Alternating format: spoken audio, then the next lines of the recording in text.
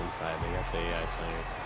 So if Drew, honestly, if Drew just sits outside on the corner for threes or just sets screens, it's open every time.